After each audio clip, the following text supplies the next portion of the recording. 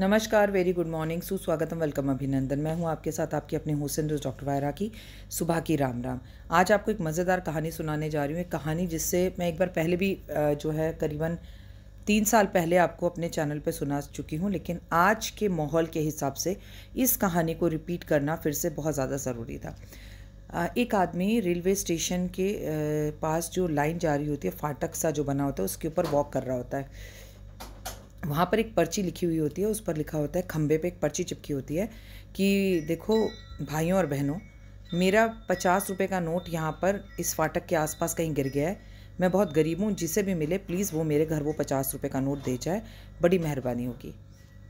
उस आदमी को दया आ गई, उसने सोचा कितना मजबूर इंसान होगा, कितना परेशान होगा, मेरा क्या फ़र्क पड़ता है? मैं जाके एक पचास रुपये दे आता हूँ। वो जाता है पचास रुपये देने के लिए तो अंदर से एक बुढ़िया औरत आती है।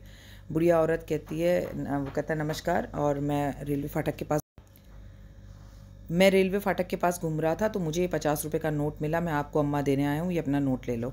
अम्मा मुस्कुराई और सर पर हाथ मारते हुए कहती है, सुबह से करीबन सत्तर से पिचहत्तर लोग मुझे पचास रुपये का नोट जाके दे चुके हैं। मैं बहुत गरीब हूँ, पता नहीं किस इंसान ने मेरा भला करने के लिए वहाँ पर ये नोट लगा दिया। मैं नहीं जानती किसने लगाया, लेकिन बेटा, इन पैसों की मुझे ज़रूरत नहीं, तुम ले जाओ। तो बोला, नहीं अम्मा, मैं आया हूँ तो अभी से ले लो, सबके लिए तो मेरे भी ले लो। तो उसने अम्मा ने ले लिया और बोला, बेटा जाते जाते उस पर्ची को हटा जाना।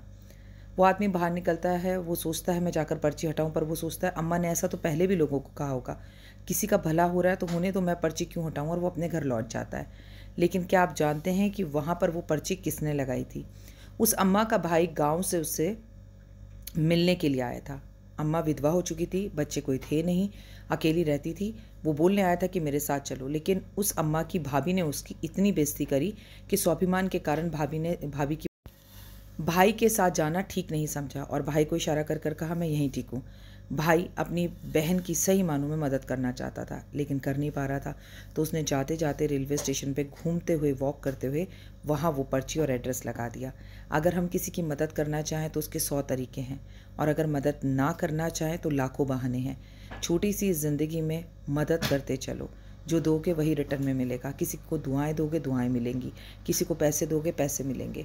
अपने ऑफ़िस में, अपनी जिस जगह पर आप काम करते हो, वहाँ पर ईमानदारी से काम करोगे, उन लोगों को भगवान मानोगे। तो आपको भी, अपने बॉस को भगवान मानोगे तो दुनिया भगवान मानेगी और इज़्ज़त मिलेगी। क्योंकि कहीं ना कहीं आप भी बॉस हैं, कहीं ना कहीं कोई आपका बॉस है। तो ईमानदारी से जो दोगे, कलयुग के अंदर वही मिलेगा। प्यार बांटते चलो और लोगों की मदद करते चलो। कहानी कैसी लगी? कमेंट्स करके ज़रूर बताइएगा और कमेंट्स में जय माता दी लिखेगा आपका दिन। शुभ हो, शंकर भगवान के मंदिर में एक लोटा जल अर्पण ज़रूर करें आ जाओ